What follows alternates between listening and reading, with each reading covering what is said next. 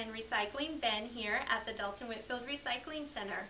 Today we are using the technique from Japan called furokashi to wrap our prizes for the winners of our America Recycles Day billboard contest.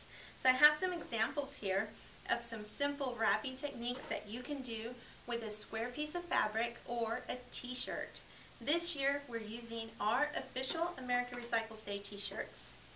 I'm going to give you step-by-step -step instructions for two furokashi wrapping techniques that are really quite simple. You just need to follow along and just pay attention. It's really easy. You're going to be surprised.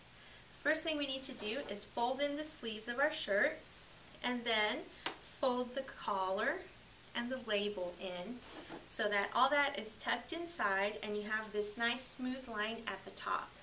Now, furokashi is based on having a square piece of fabric, so I'm going to get the width of my shirt here and do a rough measurement so I can figure out how long the shirt needs to be. And this bottom edge, I'm going to fold it up so I have my square shape. Now, the next thing you'll notice is if you look up furokashi instructions online, is that it's always laid out in a diamond shape. And usually each corner is labeled A, B, C, and D. So I have this practice box here to show you how to do the basic four-way tie. And what you're going to do is put your gift in the middle. You're going to get the two opposite corners and you're going to tie a knot. It's very simple. A double knot or a square knot is recommended, but since we folded over some fabric and we got some good thick fabric to work with, I'm going to do a single knot on the inside. And then you get your other two corners and tie a knot. Now, we do have some excess fabric, so if, you're, if you are using a t-shirt, I recommend that you pull the sleeve out. So it'll give you a little more fabric to work with as you tie the knot. And we're going to do over, pull, come back around, and do the other side under, and pull that. And you're ready to go. And just adjust it and make sure everything is tucked in.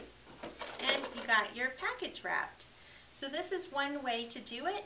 And this is the simplest way. And you can do a double knot or you can do a square knot, whatever you feel comfortable with. Now, for this technique, for the corner, it's a little different. And I'm just going to unwrap this particular shirt um, so we can use the same format again. Even out your edges here. Do the diamond shape. And you got A, B, C, and D. And you're going to get your package or your gifts and line them up to the edge, to the bottom edge. You're going to get this bottom corner, pull it up over your gift. Then you're going to get corner A, pull it over towards the opposite side. Then you're going to get your whole present, fold that down, make sure everything is even, and then you're going to get these last two corners and tie them together.